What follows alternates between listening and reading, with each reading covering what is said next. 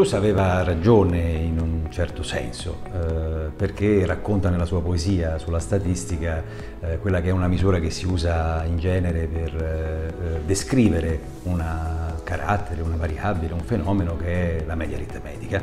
Eh, quindi se, una, se, ci sono due persone, una ha mangiato due polli, una ne ha mangiati zero, eh, una ne ha comprati due, una ne, non ne ha potuti acquistare nessuno, perché in realtà Trilussa si riferisce alla possibilità di comprarli, eh, in media è stato mangiato o acquistato un solo pollo. Eh, però ecco, va aggiunto a quello che diceva Trilussa, eh, proprio per dare senso e significato a quella che è comunque una misura molto importante che rappresenta un fenomeno, cioè la media aritmetica, che in genere è utile accompagnare questa media aritmetica con una misura della dispersione, della variabilità del fenomeno tra eh, le diverse unità statistiche che ne sono portatrici. Parafrasando l'esempio di Trilusse e quindi continuando a fare riferimento ai polli, possiamo avere una distribuzione un pochino più complicata di quella a cui fa riferimento nella sua poesia il poeta e, e quindi avere per esempio cinque individui di cui due mangiano zero polli, uno ne mangia uno, anzi ne acquista uno, continuando a riferirci all'esempio che fa Trilussa,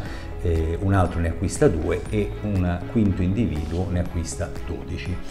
Eh, la misura media eh, 1 più 2 più 12 fa 15, diviso 5 è 3, la misura media di questa distribuzione, la media aritmetica è pari a 3. Ma se guardiamo per esempio a un altro valore sintetico che rappresenta questa distribuzione, che la può rappresentare attraverso un numero, eh, è la mediana, la mediana in questo caso, che è il valore che bipartisce la nostra distribuzione, 0, 0, 1, 2, 12,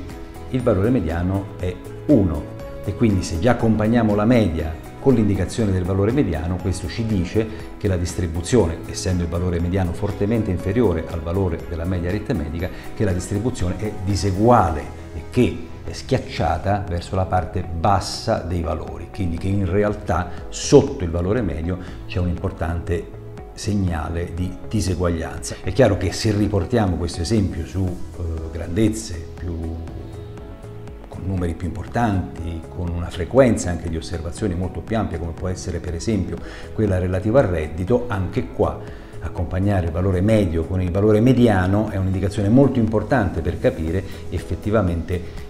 intorno a questa media come si distribuisce la popolazione delle famiglie che sto osservando. Quindi se il valore mediano, come spesso e in genere accade, è inferiore al valore medio, questo ci dice, per esempio nel caso di una distribuzione del reddito, che c'è un 50% almeno della popolazione che ha propria, il proprio reddito pari o inferiore a quel valore mediano. Quindi è chiaro che se ho un valore medio più alto del valore mediano, il valore mediano mi aiuta a capire che anche in questo caso la distribuzione di questo fenomeno, il reddito, è in parte maggiormente schiacciata verso i valori più bassi. Una misura eh, sintetica di una distribuzione va sempre accompagnata con un'indicazione relativa alla sua variabilità e quindi a quanto il fenomeno è distribuito in maniera diseguale o meno tra le unità statistiche che ne sono portatrici. Quindi in genere si accompagna l'indicazione sul valore medio